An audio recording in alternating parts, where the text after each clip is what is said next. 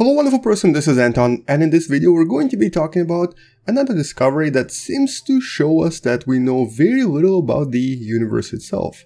In this case, a new discovery that seems to suggest the universe is actually not the same everywhere as we've always believed. So let's talk a little bit more about this unusual concept of anisotropy, and welcome to What Da Math.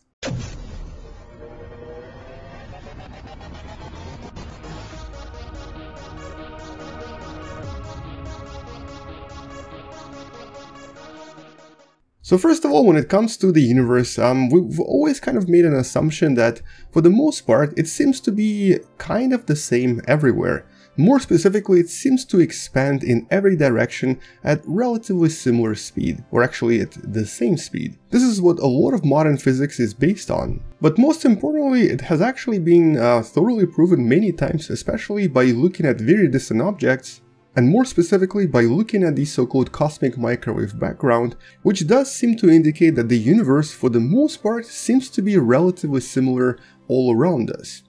But there is a problem with looking at these distant objects. Specifically, there's a problem with the CMB. It is really really old. When this started to appear in the universe, the universe was only about 380,000 years old. So back then, Maybe the universe was actually the same everywhere. But does that mean that the universe is still the same everywhere? Well, according to some of the recent studies, and more specifically this study right here that very recently came out, it doesn't seem to be the case, and this kind of challenges a lot of facts that we've always taken for granted. And specifically one thing that this study challenges is the idea that the universe is expanding in every direction at the same speed. The study in this case shows that the difference in the speed of expansion seems to be up to about 30% different, suggesting that if we were to look at different directions in the universe, we would actually see expansion happening at different speeds.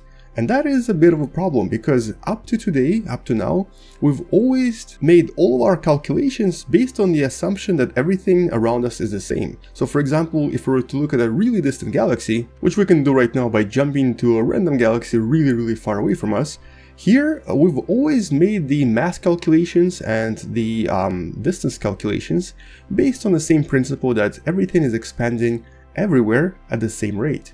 But if it doesn't, it actually challenges a lot of these calculations and puts them in a bit of a pickle, I guess. But let's briefly also talk about how exactly the scientists determined all of this.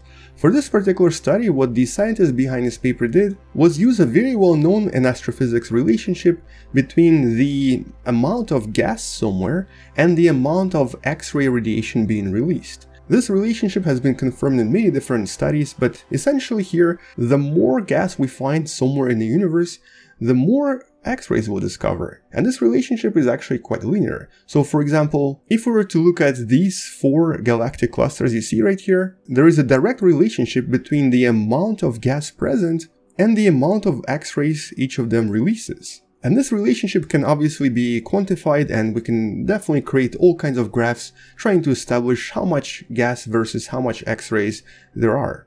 And so for this particular study, the scientists behind this paper chose 313 different galactic clusters pretty much all across the night skies except for certain locations in the polar regions where they couldn't really have enough data. And they tried to analyze two types of relationships. First of all, they've established the relationship between the amount of gas and the X-ray brightness. So basically, here for example, let's just say we go to this galactic cluster and we measure the entire amount of X-ray radiation that's produced here. In this case, we can't really see it because this is just visual light, but they were able to use a lot of different data from different uh, telescopes, including the so-called XMM Newton and the Chandra telescope. Oh, and also another German telescope known as ROSAT. So by looking through all of this data and also combining all of this data into a really large table that you can actually find in their paper, they were able to create a relatively accurate representation of every single galactic cluster and every single measurement for the amount of X-ray luminosity that was produced by every one of these clusters. And well, to their surprise, what they discovered was that there was actually a very unusual discrepancy. In certain areas, certain luminosities were either brighter or dimmer than they should have been, as if these large regions of space were either moving away from us or moving toward us at certain velocities. In other words, they were able to create this relatively accurate map of the discrepancy across the entire map of the universe, which actually showed us, or showed them that is, that the expansion shape of the universe is not uniform. It seems to be expanding faster in certain locations and slower in other locations. And that is somewhat hard to explain and actually currently creates a lot of problems for us because this means that in those particular locations we may have underestimated or overestimated certain galactic properties. But does this actually contradict the previous studies uh, related to the CMB? Well, not really, because what this is showing us is that even though the universe used to expand pretty much equally in all directions, it has changed over time and now seems to expand differently in different locations, and that is something we currently can't explain.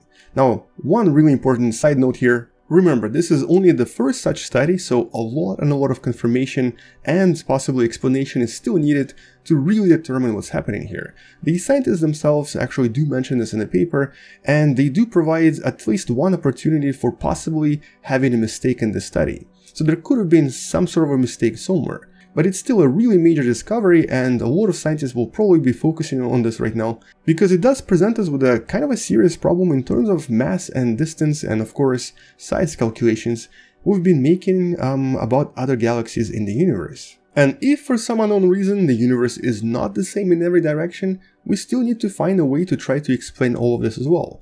One of the potential explanations is that when the so-called dark energy was created, about which we unfortunately know very very little, maybe it was created in different amounts across the universe. Now because we don't know what dark energy is, what it could possibly be made out of, or if it even exists, this obviously creates a lot more problems as well. So right now we kind of don't really know what's happening here, but one first thing we need to do is confirm the study and find out if what they're seeing is actually accurate. Because if these unusual patterns are actually correct, and for example, in one direction we're seeing 30% less motion than in the other direction, so in other words, the universe is not expanding at the same speed at all, yet it was actually expanding at the same speed when the CMB was created, this, of course, needs to have some sort of a natural explanation, or at least some sort of a theory that can explain why the universe was created so unequally. But apart from dark energy distribution and possible mistakes in the study, another explanation here is the so-called dark flow. Now I briefly talked about this in one of the previous videos, but essentially dark flow refers to this unusual gravitational attractor that's actually beyond the visible universe. In other words, it's sort of past the actual sphere of the entire universe that we can see. And this whatever gravitational attractor thing seems to be actually attracting a lot of galactic clusters toward it, reshaping how the universe behaves in that particular area. So it's quite possible that what we're observing here are actually the effects of various dark flows across the universe that seem to reshape how galactic clusters are moving and are thus creating all sorts of possible problems for our calculations later on. Now we have a similar, um, I guess you can call it phenomenon here in our own galactic neighborhood and it's actually called the Great Attractor. You can kind of see it right here and there's even a bigger one known as Shapley's Attractor. Both of these are these extremely large gravitational um, phenomena or anomalies. We have no better word for it really, we don't really know what they are. They could be a collection of dark matter, they could be extremely extremely massive black holes, but the only thing that seems to unify them is the idea of attracting a lot of matter toward them.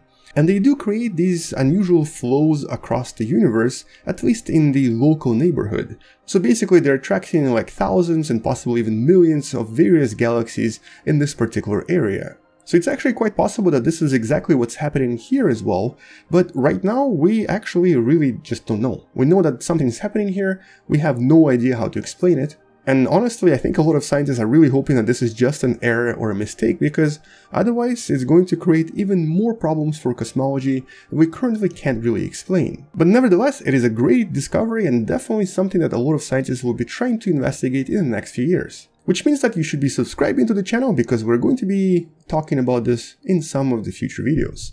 Anyway, so that's really it. Thank you so much for watching. Hopefully you enjoyed this video and if you did, don't forget to actually share this with someone who loves learning about space and sciences and maybe consider supporting this channel on Patreon because it does help me quite a lot.